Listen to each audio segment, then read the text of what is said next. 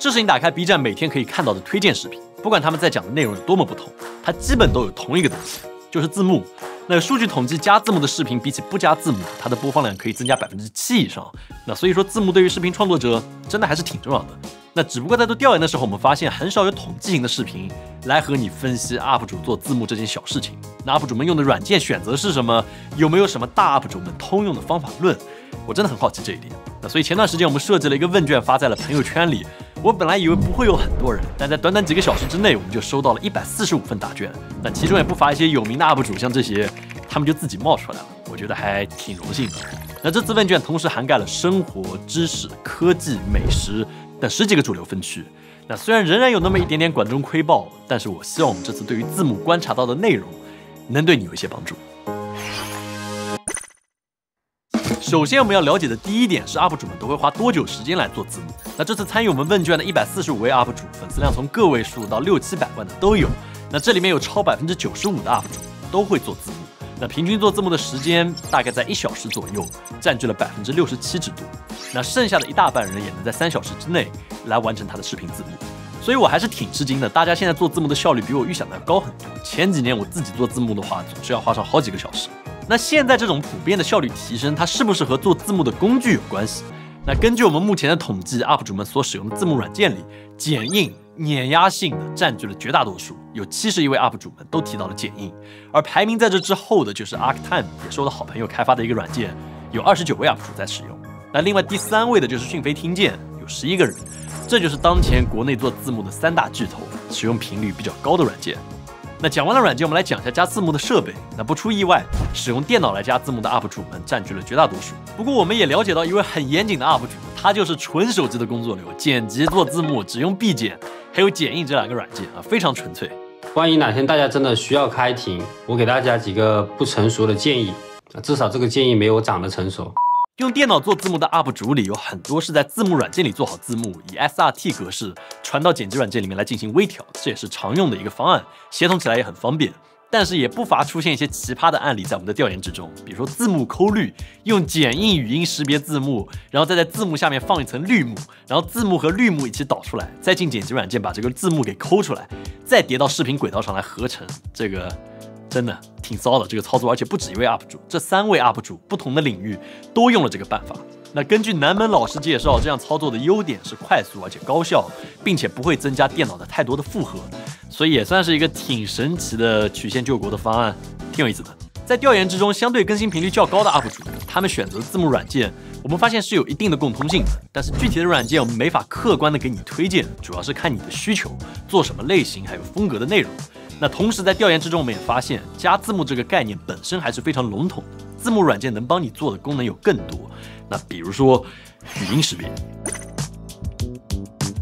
如果你想做的内容更侧重生活分享，那这方面的 UP 主们会明显的更多的使用剪映，因为它有优秀的语音识别。在我们这次的问卷里面，有超过四分之三的人都有语音转写字幕的需求。那其中有七十二位或多或少的都使用过剪映来做语音识别文本。而像科技区还有知识区的 UP 主会更特别一点，他们多数是先写好了文稿再来做视频的，所以对语音识别的需求就没有那么高，使用的字幕软件相对会更多元，也会更侧重在时间线打轴是否精准这一点上面。那我的问题就是，既然这次我们了解到的这些 UP 主们有着不同的粉丝量，那这些大 UP 主们他们是否存在一个真正的行业标准或者独门秘诀？那在我们研究之后发现，其实大 UP 主们也没有很大的差别，只能说有一个相对趋势。但是有一点可能是在大 UP 主团队和个人 UP 主中产生区别的一点，就是超能力。你想，你每次自己做完视频还要来加字幕，很吃很吃，太累了，对吧？为什么不花钱找别人来帮你干这个活呢？那找别人做字幕，这里面的支出可以包括语音识别、外语翻译、打轴对轨、设计花字等等等等，只要你氪金都可以做到。大部分都是按需制作。以我们自己来举例的话，可以给你一些价格参考。那比如说人工语音识别，我们之前有一段时间用的是讯飞听见的人工精准，是可以氪金的，给他氪了不少钱，把音频转成文字，一条价格是几十块钱。但是我的回答就是不是很好用，专业的名词经常会弄错，甚至我的名字也没有见他们答对过几次，所以不如拜托我们胆大心细的剪辑师来的方便一点。那再比如我们的片子字幕可能要翻译成英文。那价格可能就在五百块钱一条左右，而且还需要找到字幕组来帮你做这些东西。在我们这次统计中，在字幕上氪金最多的大佬，每年能够用到五位数。但是你也不用被吓到，也就三五个人会这么财大气粗，大多数 UP 主们还都是小本经营，自己做字幕，把钱花在更值得的地方。那讲完了做字幕的软件方式这些，那接下来就要到了字幕的呈现阶段，这个其实也非常重要。目前主流的字幕就是内嵌字幕、外挂字母，还有花字，你可以看一下，这是对应的比例。那我自己一直有的一个疑问就是，外挂字幕在海外真的非常的流行，大部分的剧还有 App 都会使用它，为什么在国内大家却还是喜欢用内嵌字幕？那这次我们统计之中只做外挂字幕的 UP 主只有这么几位，还有几位会同时做内嵌还有外挂这两种来适配各种的平台。那外挂字幕我觉得是有很多优点的，比如说可以随时改变错别字，也可以随观众的喜好自己来开关，不遮挡画面，甚至可以请粉丝来帮你做字幕，可以实现这个一定程度的白嫖。那同时外挂字幕能够实现多端统一，你对字幕的偏好设置只要设置一次，可以在手机、电脑、iPad、电视上都同步，这听着很方便，对吧？但是问题就是国内平台的外挂字幕很多人会默认是关闭的，观众体验就没有那么好，所以现在绝大多数的 UP 主呢还是选择了内嵌字幕。但是说内嵌字幕好归好，也有一个很重要的问题，或者说风险，就是字体。这次我们统计了一下 UP 主们平时用的最多的字体，有五十四位 UP 主们做出了分享。那具体就是这些，其中用到最多的就是思源黑体，占比人数有四分之一。那当然还有最近很火的，由 Oh My Gosh 六蛋老师设计的这个得意黑，也在短短的时间内达到了第四位。这些字体你可以作为一个参考，都是大家挑出来相对方正，并且易读性比较强的。那假如你想下载这些字体，找到他们的所有正版下载链接，我们已经帮你收集好了，可以在评论区一次性下载完。也希望你给个三连，谢谢你。当然你也需要注意它的版权问题，是否是免费商用的，我们也帮你归纳总结好了。反正千万不要误用，不然这个代价可能会是很大的。OK，现在即便我们把字体已经选好，字幕的呈现其实也很讲究，有很多门道。在画面里面要放多高，要不要有阴影和描边，差之毫厘，这个效果失之千里。而且在我们的统计之中，有百分之四十的 UP 主，其实到目前为止，他都是没有真正固定的版式的，所以观众的观看体验也会变得非常不稳定，无法对你形成你熟悉的一个统一印象。那我在这里也分享一下，我们迭代过很多次以后，稳定下来，我们当前在用的字母版式大概是这样的一个规格，在达芬奇里只要这样设置就可以了。你觉得怎么样？就可能我觉得就中规中矩，没有什么特别的。那不过这也不是什么标准答案，还是有很多 UP 主的字幕，我觉得真的做的很有特色，也很棒，很贴合他们自己频道的风格。那只不过字幕这玩意儿，说实话，我自己不是专家，所以我也没什么资格。但这次我们请到了德意黑的设计者 Oh My Gosh 老师，来跟我们讲一讲他对于字幕的一些理解，也许会对你有些帮助。说起视频中的字幕设计，人们一般想到的就是平面设计中的那些参数，比如用什么样的字体，字号多大，字间距是多少。要不要加描边？要不要加投影？要不要加底框？相比静态画面，唯一特别的是，视频是动态的，要保证字幕的样式适应性足够强，能够在每一帧的画面都清晰可见。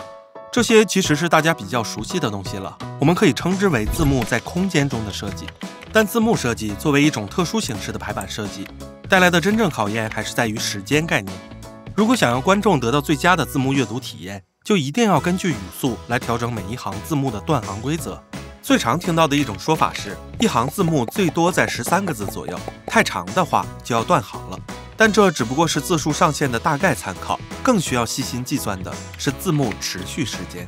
如果文本太多，持续时间又极短，就会变成这样。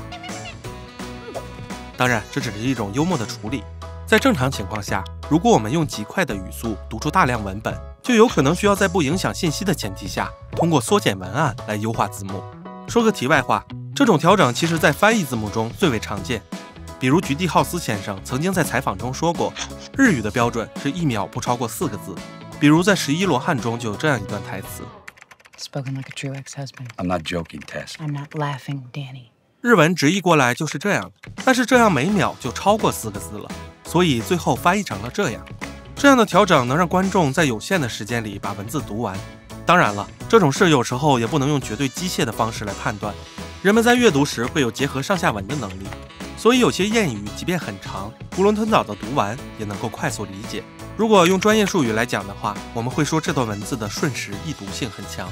瞬时易读性在西文排版中有很多研究，搜索英文关键词能搜到很多相关的研究文章，尤其是在字体设计的领域。比如我经常提到的 kerning 问题，就属于瞬时易读性的范畴。kerning 影响的是一个单词内部每个字母之间的间距，这个信息在字体设计时就由设计师仔细考量，打包在了字体里面。如果贸然改变 kerning，就可能导致认读困难。所以建议使用支持 kerning 的主流剪辑软件，并且开启 kerning 信息，比如在 Adobe 软件中将这个选项调整到度量标准即可。相比之下，关于汉字顺时易读性的研究，人们一般都会把问题聚焦在字体的选择上。人们似乎更认可那些严格遵循中国汉字标准写法的字体，毕竟这样的字体造型对我们来说是最为熟悉的。在德意黑发布之后，也有很多人将它用于字幕，并且我也听到了很多反对的声音，认为美术字并不该被用于字幕。但对此我有不同的看法。我认为汉字字体的设计更为复杂，无法一言以蔽之。我们需要分析字体的间架结构等具体设计。我们知道日文将我们的汉字作为一个重要的组成部分。在日本有一款专门的电影字幕字体 New Cinema，如今在众多电影、电视剧、动画、游戏中都可以看到它。比如游戏《八方旅人》中就大量使用了这款字体。这款字体在设计之初就定义了极强的功能性，所以在小小的 Switch 屏幕上也可以非常清晰易读。除此之外，这款字体的设计还有一个明确的目的，就是消除字幕的存在感。字幕往往都是浮游在画面之外的东西，但如果我们选择的字幕字体是一款风格极其匹配的美术字，就可以在一定程度上消除这种浮游感。说到汉字字体的瞬时易读性，就不可避免的要聊到另一款字体，那就是日本道路工团标准文字。这款字体的设计初衷是在时速一百公里的时候，能够在六秒内读取一百四十米外路牌上的文字信息。这款字体让汉字的笔画变得更加几何化，甚至简化了很多笔画。这是一款绝对意义上的美术字，甚至很多设计考量都是和规范字体设计背道而驰的。可以看到，有的字看起来忽大忽小，不够统一，但它更多重视的是文字的负空间处理，让人远远的看上一眼也能辨认出这是哪一个文字。所以，我还是前面的观点，汉字的易读性并不是用它是否采用了规范写法，粗暴的做出判断。在这方面还有很多未知的东西等待着我们去探索，所以非常感谢六段老师能和我们一起来解读字幕背后的门道。那优秀的字幕能够帮助观众快速的补充信息，甚至说有的 UP 主们会更进一步，把字幕作为一种和观众来互动的方式。比如我最爱的雀巢，你看，这是他整的活，非常让人难忘。哎，奇怪，魏亚玲呢？操，我别记得放在这儿了。哦，在这儿。所以这就是这期视频的全部内容，希望能对你有一些帮助，能够加出更好的字幕。如果你喜欢的话，也请务必点赞、务必三连转发，这会有非常大的帮助。那么我们下次再见。